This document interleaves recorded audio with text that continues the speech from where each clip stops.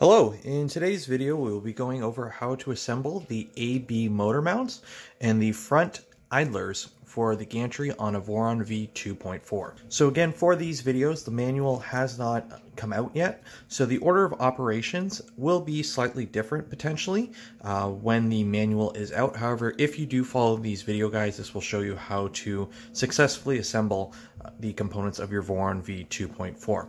So we're going to start off here with the AB motor mounts. Now, while they do look pretty close to each other, uh, they are in fact mirrored, and there are some slight variations.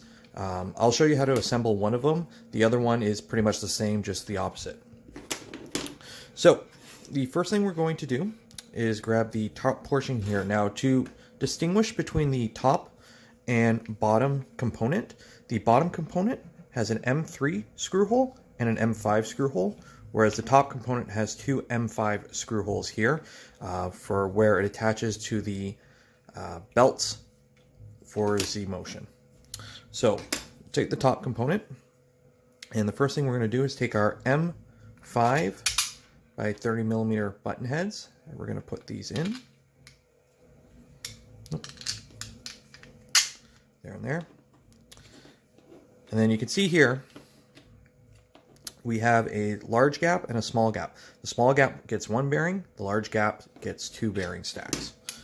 So we're going to build up our smooth idler stack. So again, for the Voron 2.4, all your idler stacks consist of a one millimeter washer, two bearings, and a washer. And then we'll do this again here.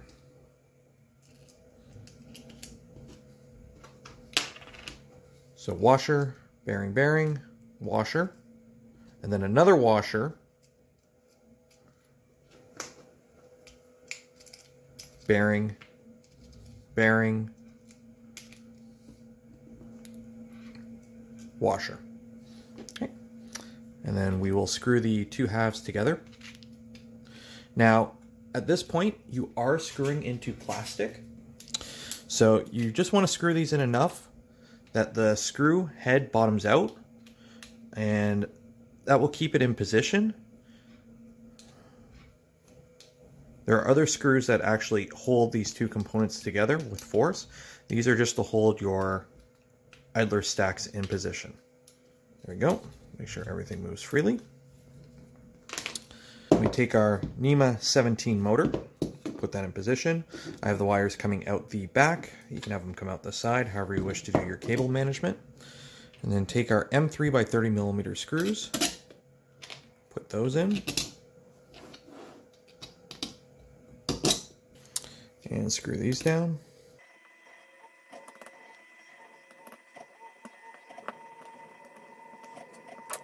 There we go.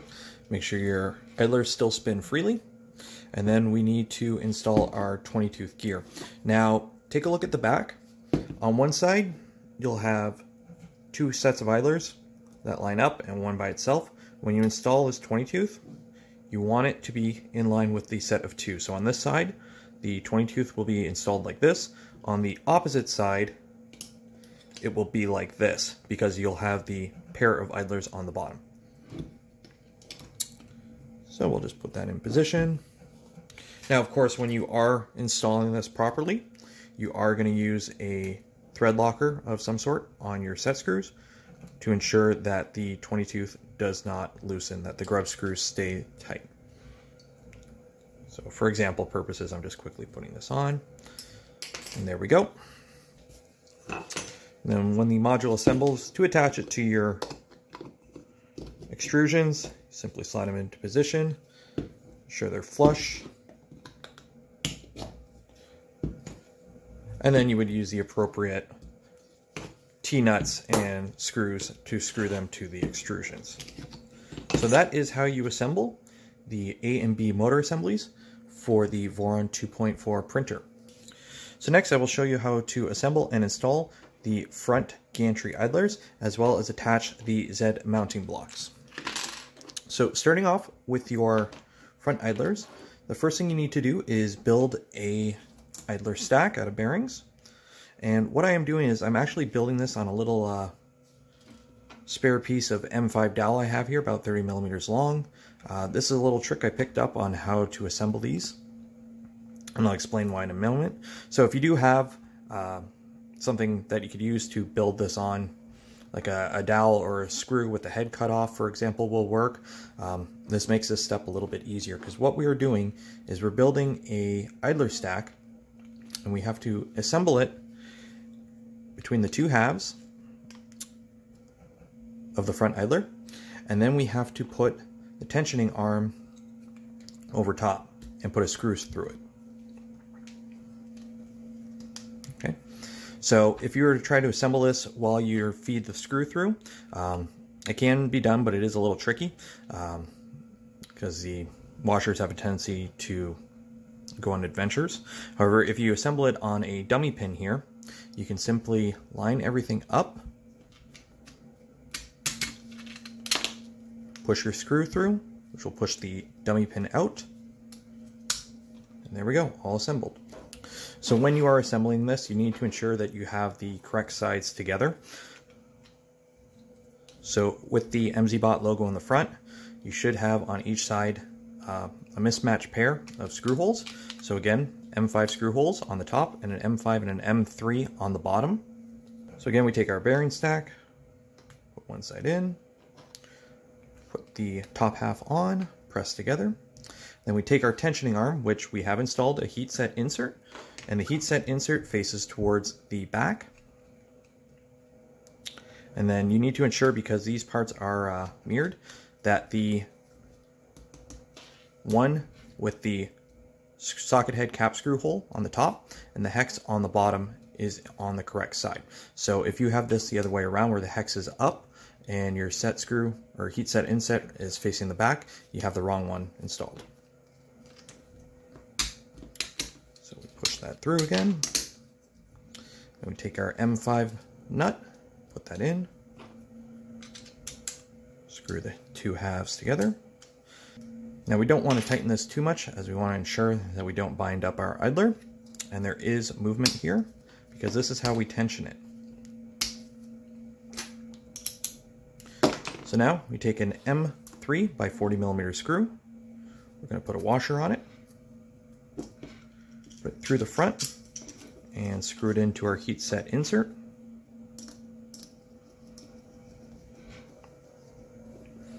And this is how we tension your AB belts. And there we go.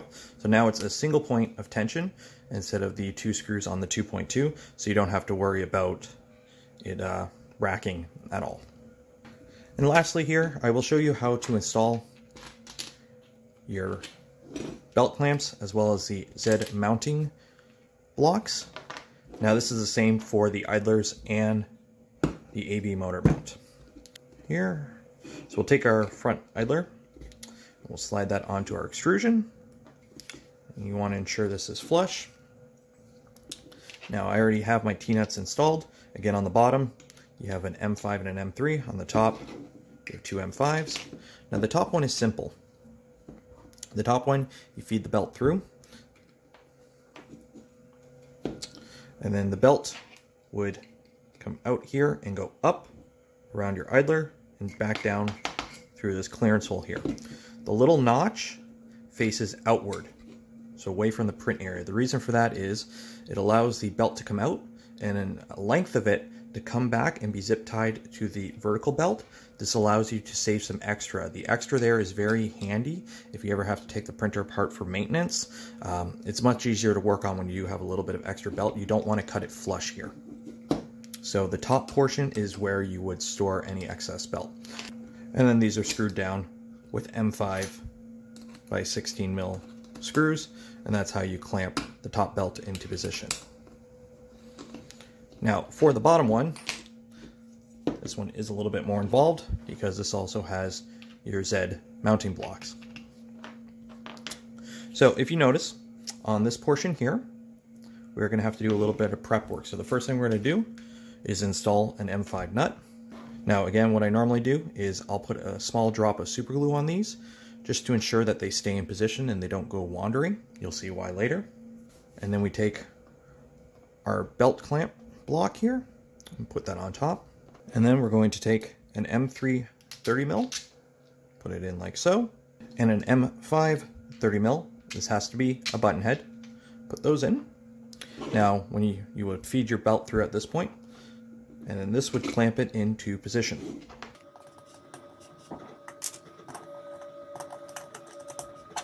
Screw these down tight. And then we mount our mounting block to the carriage. So as this is a mating surface and there actually is a small pivot point here, this allows your gantry uh, a little bit of flexibility when it comes to leveling and trimming out the gantry to the bed. So it's not much of a pivot point, but there is a little bit of play here. So you do want to ensure there is no binding points. What I do is I just kind of rub the two halves together just to make sure there are no little burrs or nubs of plastic. And then what I do is I actually just wet the one side ever so slightly uh, some super lube or another grease that doesn't react to ABS. Um, simply because it is a mounting point, I do like having a little bit of lubrication there uh, just to remove any potential friction. And then we take an M5 by 40 millimeter socket head screw, put that through, and this will screw into that captive M5 nut we have in there.